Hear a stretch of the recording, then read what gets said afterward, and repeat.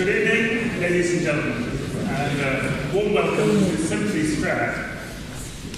Tonight's concert marks the start of our celebrations of London Cello Society reaching its 10th year. I must sincerely thank Peter Horner of Brompton's Fine and Rare Instruments for his fulsome and unfailing support. Without Brompton's generosity, tonight's event would not have been possible.